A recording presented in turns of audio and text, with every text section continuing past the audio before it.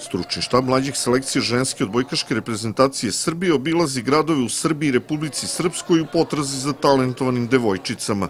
U nedelju su testiranja obavili u Knjaževcu, a posle toga svratili u Pirot i posetili trening odbojkaškog kluba Pirosi. Danas smo obavili 20. testiranje perspektivne devojčice u Srbiji i s obzirom da je pomoćni trener pionirske reprezentacije iz Pirota, Rešili smo da dođemo ovde da donesemo pehar i ispošteno našeg kolegu koji godinama već ulaže u sebe, volontira na raznim kampovima priprema reprezentacije. Ovo je podrška njemu i Pirotu da se odbojka tu živi. To je, eto, igram slučaj Mila Đorđević, reprezentativka koja davde ponikla.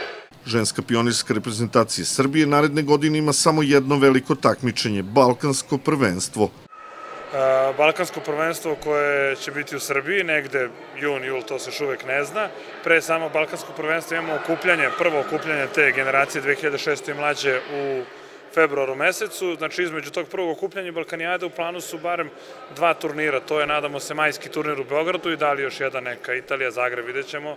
Što više turnira, to bolje da bi stekli što bolje uvid u tu generaciju, što bolje se pripremili za Balkanijadu kao jedino zvanično takmičenje u narodnoj godini a ujedno i e, Balkanijada je kvalifikacijona za Evropsko prvenstvo 2021. Piroćanac Dragan Milošević, pomoćni trener u pionirskoj reprezentaciji, otkriva da će domaćin tog prvenstva Balkana možda biti i Pirot.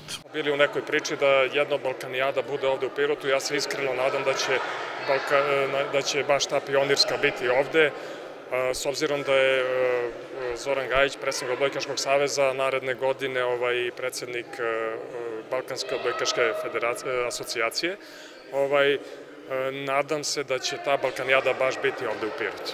Na treningu odbojkaškog kluba Pirosi i naša seniorska reprezentativka Mila Đorđević. Za nju je ovo godina iz snova.